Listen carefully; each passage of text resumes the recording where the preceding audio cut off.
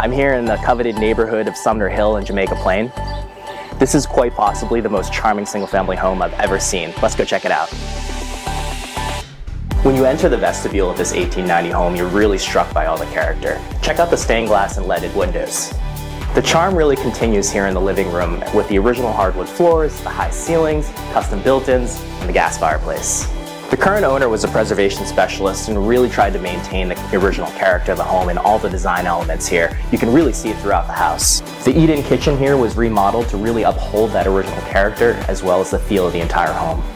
Up the stairs, you'll find two generously sized bedrooms with high ceilings and plenty of storage, tons of natural light. This top floor also has an expansive bathroom with a huge skylight.